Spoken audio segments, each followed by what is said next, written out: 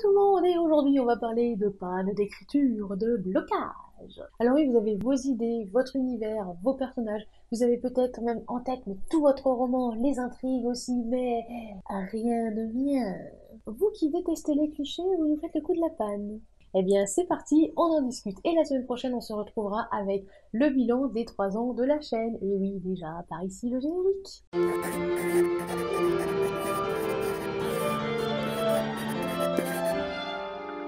Pour ne louper aucune vidéo, abonnez-vous et activez la cloche. Définition panne d'écriture.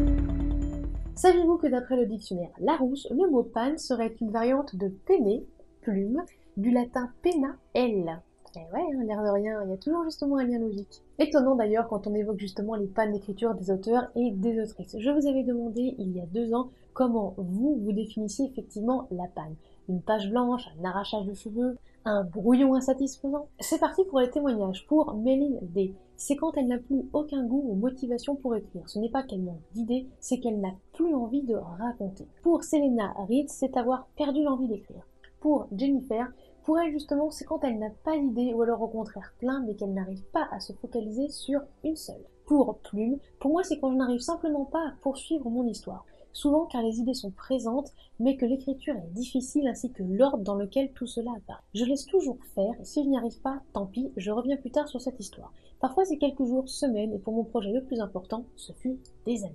Pour Rémi ou Breno, si je le prononce bien, c'est quand il n'arrive pas à écrire et aussi quand il arrive à écrire mais sans être satisfait du tout par le texte. Pour David Fenrick, c'est quand il est justement vide d'énergie et il propose d'ailleurs repos, promenade, activité ou pourquoi pas aussi partir à la recherche d'idées, lire, regarder des films, etc. Alors, qu'est-ce qu'il faut justement retenir de tous ces témoignages? Déjà que c'est très différent en fonction des personnes. Et c'est normal puisque je rappelle qu'on est tous uniques. Alors souvent les personnes ont des idées, hein. j'ai l'impression que les idées ça manque pas, mais ben, on a l'impression que soit vous n'êtes pas satisfait, satisfait de ce que vous avez écrit, de ce que vous avez envie d'écrire, ou alors peut-être qu'il y a un blocage. Est-ce que vous n'arrivez pas à matérialiser par exemple cette idée? Vous n'arrivez pas à trouver la phrase juste Vous vous dites ah mais c'est super vite dans mon esprit, mais là quand j'essaie d'écrire ça ressemble à rien, c'est une espèce de blougi bouba. Et eh ben oui, d'accord, là il peut effectivement y avoir une panne. Pour d'autres, c'est la motivation qui part. Je pense que ces personnes-là ne connaissent pas Tata qui vous botte l'arrière-train. Il y a plusieurs pannes d'écriture, comme l'a précisé Maëvate. Attention, je la cite. Panne d'écriture sur la suite dans un roman, panne d'écriture grammaticale, quand tu es justement en panne niveau syntaxe, grammaire. A aussi une panne de recherche, genre des recherches pour un roman historique. Bref, il va vraiment falloir aussi identifier la panne. Est-ce que vous avez plusieurs pannes? Est-ce que justement c'est une panne seulement identifiée? Pour essayer justement de passer outre cette panne. Alors je finirai avec cette phrase que j'ai glanée dans un article de l'Express. La panne, la créativité tarie, le vertige de sa propre incapacité à dire, il n'est pas commode de le raconter, car c'est se dévoiler dans ses défaillances. Moi, je trouve ça pas mal. Hein. Il est vrai que je rejoins un petit peu à dire euh, ces témoignages et je rajouterais même alors pour moi, euh, ce n'est pas vraiment une panne d'écriture, j'ai jamais vraiment connu de panne d'écriture, puisque parfois il y a des journées, bah, je ne peux pas écrire pour X raisons, hein, parfois souvent par manque de temps, ou parce que je suis fatiguée, ou parce qu'il fait vraiment trop chaud, et j'ai pas envie en fait d'écrire parce que j'ai les mains moites, c'est l'horreur, bah je me dis que c'est pas grave. Après je peux comprendre hein, que ça peut vous miner, mais complètement, c'est compréhensible mais il faut vraiment savoir d'où ça vient pour repartir du bon pied et pour se relancer. Et vu que je n'ai pas forcément connu de panne d'écriture, j'espère être vraiment de bons conseils, et c'est pour ça que justement j'ai cherché à comprendre ce que c'était qu'une panne d'écriture. Identifiez là où les causes de la panne. Pourquoi vous n'arrivez plus à écrire ou être satisfait ou satisfaite? D'où vient ce blocage? Oui justement je vous fixe là, je vous pose la question.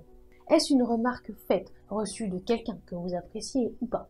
Est-ce que c'est le syndrome justement de l'imposteur qui débarque Voir ma petite pipi justement dessus sur le syndrome de l'imposteur Est-ce que c'est par exemple un projet qui vous prend trop de temps parce qu'il est trop long, parce que maintenant vous le jugez chiant alors qu'avant justement ça vous plaisait comme pas possible Est-ce que c'est un problème avec une personne ou un site internet ou peu importe Identifiez le ou les causes. Récemment j'ai reçu le témoignage d'une personne en coaching qui a, euh, je sens que j'en dise trop, un problème avec une plateforme sur laquelle on peut bah, poster des, retours sur ouvrages. Les personnes de cette plateforme ne répondent pas. Elle aimerait retirer justement les fiches de ces ouvrages bah, car ils ne sont plus en vente depuis longtemps et qu'elle aimerait justement tout remettre à plat. Ouais, ça peut miner. Ça, je peux comprendre que ça peut miner parce que justement on a l'impression d'être face à un mur en face parce que personne effectivement ne répond. Euh, oui, ça d'accord. Bah, à ce moment-là, il va vraiment falloir mais tout faire dès que la cause ou les causes sont identifiées pour vraiment rebondir. Exactement justement comme en double loop. Vous avez compris? Ah, il y en a qui suivent malgré la chaleur, c'est bien. Dépasser la panne, franchir l'obstacle. Oui, on va le franchir cet obstacle, peu importe justement votre niveau de galop. Vous le voyez, cet obstacle devant vous Non, vous n'arrivez pas à le matérialiser.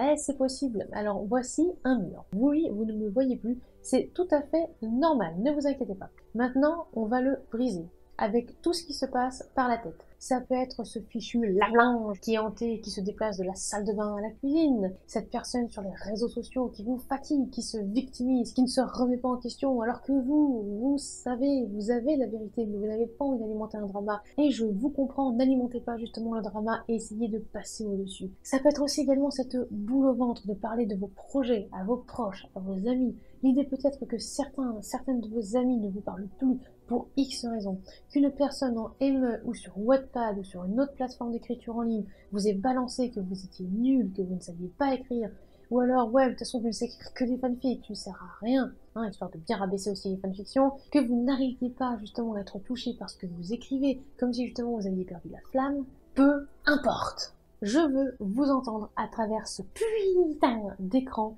et brisez-moi ce mur. Euh, pas, l'écran 1, parce que ça coûte cher à réparer quand même un écran 1, mais brisez-moi celui Bref, une fois justement que c'est fait, on respire ensemble et on souffle. Allez-y, faites-le au moins une fois. Je sais que c'est pénible, je sais que c'est chiant et que la méditation ça ne marche absolument pas pour vous, je sais bien, mais ça c'est pas de la méditation, je vous demande juste de respirer.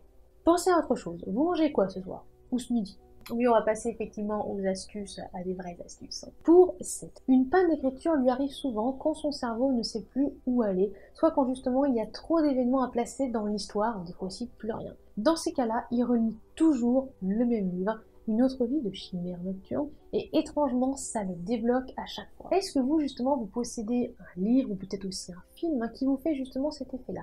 Lisez-le ou justement regardez-le si c'est un film ou visionnez effectivement une série si c'est le cas pour vous débloquer. Justement, vous n'avez pas envie d'écrire parce que vous êtes fatigué, parce que vous avez mal au crâne, parce que aussi il se peut aussi que ce soit une migraine qui vous prenne la tête depuis plusieurs heures, plusieurs jours. Là vraiment, soufflez, reposez-vous, prenez soin de vous. Faites une sieste, échappez-vous aussi peut-être de votre quotidien pour reprendre votre plume en plus de votre souffle. Et quand je dis souffle, c'est non seulement le souffle physique pour votre respiration, mais aussi le souffle mental. Pour Jeanne, alors simplement Jeanne, hein, ce n'est pas Jeanne Malusa, je n'ai pas d'antidote magique, mais quelques traces qui ont marché pour moi par le passé. Relire des anciens textes dont je suis fière. Travailler mon plan, chercher sur quoi je bute, et pour la scène problématique, l'analyser à fond pour Marion Perret, en cherchant l'inspiration sur internet par exemple. c'est vrai d'ailleurs, il y a une vidéo inspiration petite fiche. Pour Zvena, casser des tibias peut aider, hein, à cas justement se lancer direct dans l'action. Discuter aussi avec quelqu'un peut mener à une nouvelle direction de l'intrigue. Pour Maëvaté, ça peut être aussi écouter de la musique, se détendre au niveau peut-être des neurones. Et la recette miracle Oui, j'ai trouvé la recette miracle Je vous assure, c'est absolument pas du tout potaglier ce que je dis. Sur White Forever, il y a une ordonnance que justement le médecin donne à un écrivain, ne vous inquiétez pas, il y a le lien dans les sources, j'ai trouvé ça génial, je vous le reproduis effectivement ici. Du Creativil, 20 mg de comprimé matin et soir en mangeant. Deux cuillères à soupe d'Imagine le matin en vous levant, histoire effectivement d'attaquer la matinée en pleine forme. Une heure de promenade par jour au minimum. Et enfin, une heure de discussion avec qui vous voulez en milieu de journée.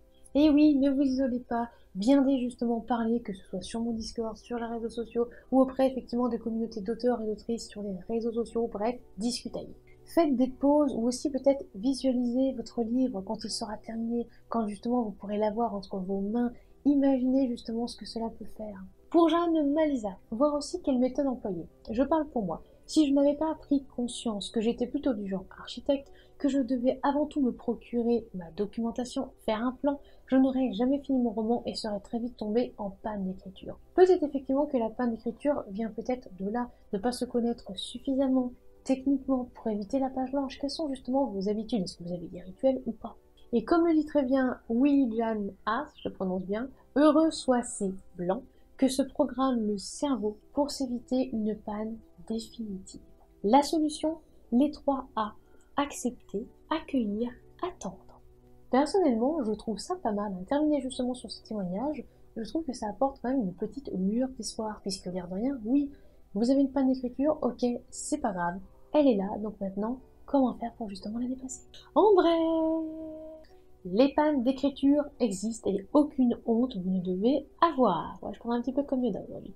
Ça peut arriver. Je sais que j'ai beaucoup de mal avec ce sujet et j'essaye vraiment d'être pas non plus la plus exhaustive possible parce que c'est impossible d'être exhaustif avec ce sujet.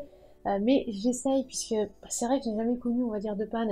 Je peux essayer de comprendre, d'épauler, d'apaiser et d'aider. Et j'espère d'ailleurs que je vous aide au mieux. Car malheureusement, moi j'aimerais bien effectivement pouvoir en faire plus. Il faut identifier là où les causes justement de votre panne d'écriture. Pourquoi ce blocage? Posez-vous justement quelques minutes pour y réfléchir. Grattez un peu, par exemple, pourquoi pas sur une feuille aussi, laissez votre plume aller. Bref, essayez de comprendre pourquoi justement il y a ce blocage. On patiente, on décante et on franchit l'obstacle. Je ne parle pas forcément d'alcool quand je dis ça. Quoique, c'est vrai que si Gracieuse Robert passe par là, euh, elle le champagne. Un livre de 150 camos, et je le répète et je le répéterai encore, ça ne s'écrit pas en un jour. Je sais que vous voyez pas mal de méthodes des fois qui fleurissent sur TikTok ou sur d'autres trucs. Ah, vous allez pouvoir écrire un livre comme ça en une journée? Non. Même d'ailleurs quand on bosse d'arrache-pied, on peut écrire beaucoup de camos par jour, 150 k ça risque d'être un petit peu compliqué. Ou alors, euh, va falloir y aller sur le clavier. Avant que vous soyez une tardigrade une machine.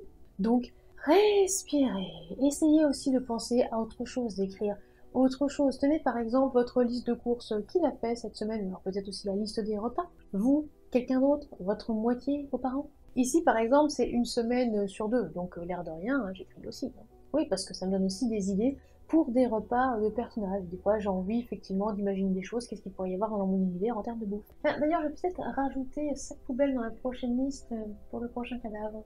Reprenons, cher tardigrade, franchissez l'obstacle au fur et à mesure et défoncer des murs. Je peux vous assurer que ça vous fait du bien défoncer des murs. Vous n'avez pas envie de faire des travaux dans votre maison euh, prochainement? On reste motivation. Pauvre petite plume, oui, je sais, je vais arrêter de la maltraiter. Peu importe la durée, peu importe l'intensité. Vous savez que c'est un petit peu olé olé dit comme ça. Gardez la motivation. Vous pouvez le faire. Oui. Vous allez écrire, vous allez publier, vous allez vous faire éditer ou l'éditer vous-même, peu importe, mais vous allez justement sortir cet ouvrage parce que vous êtes un auteur, une autrice en or et que vous êtes formidable. Ça fera un petit écho à un prochain format court. voilà, c'est la fin de cette vidéo et j'espère qu'elle vous aura plu. On se retrouve la semaine prochaine pour la vidéo bilan de la chaîne puisque la chaîne va bientôt fêter ses 3 ans d'existence. Et oui, avant nos vacances annuelles en août, mais vous inquiétez pas, vous aurez des formats courts afin effectivement de remplir ce mois. N'oubliez pas de vous abonner, c'est gratuit, de lâcher un like, un petit commentaire et de partager cette vidéo. Cela nous fait très plaisir et ça nous aide vraiment au niveau algorithme. Si vous voulez nous soutenir financièrement parlant, n'oubliez pas de vous rendre sur les pages Tatanix des plateformes Utip ou Tipeee. Et en attendant la prochaine vidéo, soignez votre plume